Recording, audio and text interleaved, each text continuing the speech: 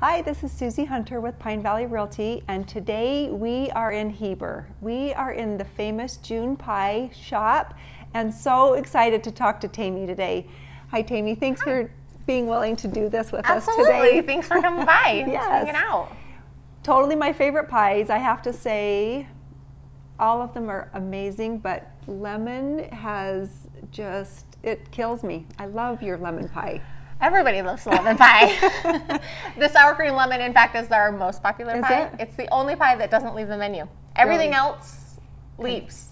Every week we change it up except the lemon pie. Yep. One of the cool things about June Pie to me is the story behind how Tammy got started. So where did this whole thing start? Where did you begin the dream?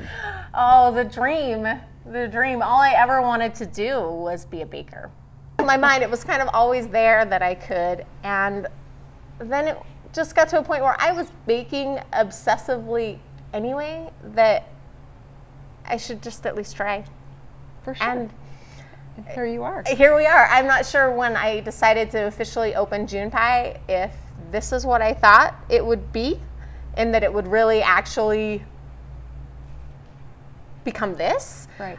Or rather just something I did out of my house and it was a way to pass the time and but here we are. I love the story. I love that as a little girl you dreamed this yeah. and you just kept at it. And yeah. that's a story all of us can learn from. Yeah. No matter what our dream is, no matter what we want to do, we just have to dream it. We have to be willing to work hard. Yeah, that, right? I feel like you can dream all you want. Exactly. Um, but the work. blood, sweat, and tears and just sheer exhaustion in it I think for uh, lots of people ask me, I don't know how you do it. I don't know how you do it. I'd be so tired all the time.